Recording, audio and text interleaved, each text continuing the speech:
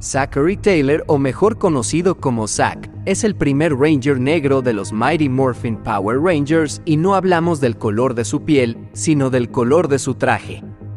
Personalmente este es mi Ranger favorito de todos los tiempos, así que para mí es un honor presentarle su historia. Zack era el segundo al mando en los Mighty Morphin después de Jason el Ranger rojo, todo esto hasta que llegó Tommy Oliver como el Ranger blanco, el cual Sordon puso como líder y Jason pasó a ser el segundo al mando. El animal de Zack es el mastodonte y su arma es un hacha muy poderosa que se convierte en un tipo de cañón de energía la cual es el inicio de la combinación de todas las armas de los Rangers para formar el blaster de poder. En los cómics Zack también ha sido el Ranger rosa, el verde y el Omega Ranger negro. Hablando de su vida personal, Zack era un joven con algunos problemas en el hogar, pero que aún así era tranquilo y bromista. Aunque al principio dudaba mucho en tener amigos, conoció a Jason y los demás Rangers en Angel Grove y poco a poco se fue desarrollando más. Es un joven que le gustan los días festivos como Halloween, aunque le dan miedo las arañas y las serpientes. A Zack le gusta bailar mucho y lo que hizo fue combinar el baile con las artes marciales e inventó un estilo de pelea llamado hip hop kido el cual también enseña a otros. La mayor parte del tiempo se la pasa practicando artes marciales con Jason y Tommy, además de enseñar baile a otros estudiantes.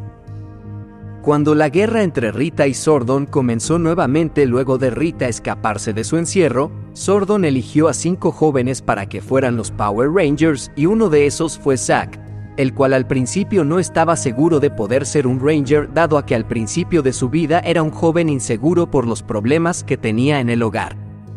Luego decidió comprometerse a ser un Ranger y aceptó la misión de salvar el planeta. Con esto se convierte en el Ranger negro de los Mighty Morphin Power Rangers con la moneda de poder del mastodonte la cual controla al mastodonte Dinosaur. En los cómics durante una misión, Zack controla al Megazord y derrotan al monstruo de Rita mientras Jason ayuda desde el suelo. Al final de la batalla todos celebran el desempeño de Jason, pero no el de Zack y es por esto que siente un poco de celos dentro de él. Rita aprovecha este celo y lo elige para ser el primer Ranger verde, ya que en este momento Tommy aún no había aparecido. Cuando Rita le hace la oferta a Zack, este se vio tentado, pero rechazó a Rita e intentó robarse la moneda de poder del Ranger verde, pero falló. Luego Zack le confesó todo a Sordon y esta historia se quedó entre ellos y ningún otro Ranger lo supo. Debido a todo este suceso, cuando Tommy se unió al equipo como el Ranger Verde, Zack cuestionó muchas veces la lealtad de Tommy y sobre si Rita aún lo podía controlar. Es por esto que al principio tienen varias confrontaciones, pero luego comienzan a confiar poco a poco. Más adelante, cuando Lord Zed llega y destruye los Swords, Sordon les dio a los Rangers los nuevos Thunder Swords y Zack tenía el control del Lion Thunder Sword. La última misión de Zack con los Mighty Morphin Power Rangers fue encontrar la espada de luz, la cual se utiliza para transferir los poderes de un Ranger a otro cuando sus poderes provienen de una de las cinco monedas de poder ya que la sexta moneda no tiene conexión con esta espada. Esta misión fue debido a que Zack, Jason y Trini viajarían a Suiza y debían transferir sus poderes a otros jóvenes. Zack logró transferir sus poderes a Adam, el cual se convertiría en el nuevo Ranger negro y sería un personaje muy importante y querido en la saga. A pesar de Zack haber pasado sus poderes a Adam, Zack ha aparecido como Ranger negro en varias temporadas donde se han dado peleas junto con los Mighty Morphin Power Rangers como lo fue la famosa batalla legendaria o la batalla en la que Jason convoca a su equipo para derrotar a Golder Maximus. Antes de hablar sobre su última aparición, primero debemos hablar un poco más sobre su viaje como Omega Ranger. En el programa de televisión pudimos ver la transferencia de poder y ya todos conocemos la excusa que nos dieron para que estos actores ya no aparecieran más.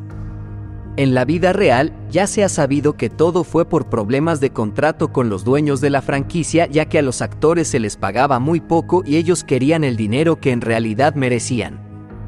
Esto abrió una ventana para crear una historia sobre estos tres Rangers que tuvieron que transferir su poder y como dato curioso, los actores realmente no estuvieron en ese episodio. Los productores utilizaron escenas viejas y otras voces para representar a estos Rangers.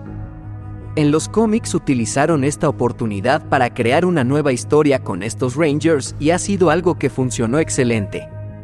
Los Omega Rangers han sido tan famosos que Hasbro ha tenido que vender figuras de acción de estos Rangers y los fanáticos amamos a este equipo.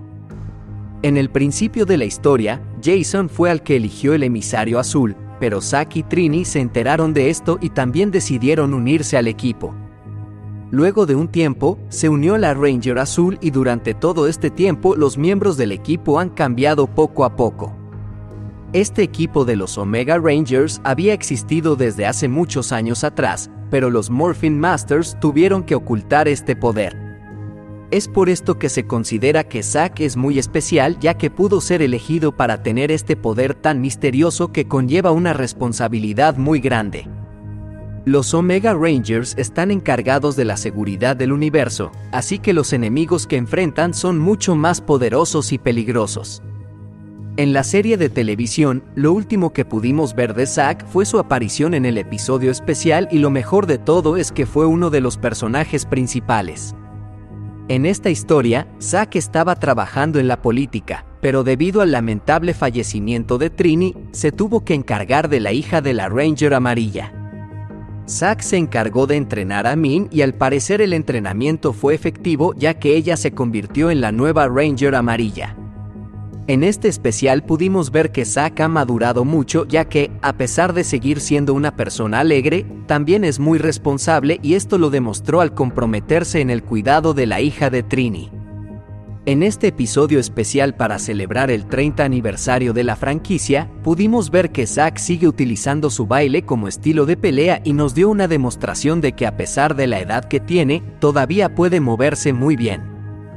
En el final de este episodio pudimos ver que Zack hizo el disparo final para destruir a Rita utilizando su hacha de poder y con esto pudimos confirmar que esta es una de las armas más poderosas que existe. Creo que Zack es un Ranger muy especial ya que desde 1993 pudo establecer una de las mejores personalidades en toda la historia de la franquicia al combinar el humor, el compromiso y la responsabilidad. Este es un personaje flexible que se puede adaptar a cualquier situación y lo ha demostrado en la serie de televisión, pero también en los cómics. Hay una versión de Zack en la dimensión de Lord Dracon y ahí también podemos ver Zack se puede adaptar a cualquier situación. Si te gusta el Zack, dale like a este video y suscríbete a este canal para ser el próximo Ranger negro de los Power Rangers.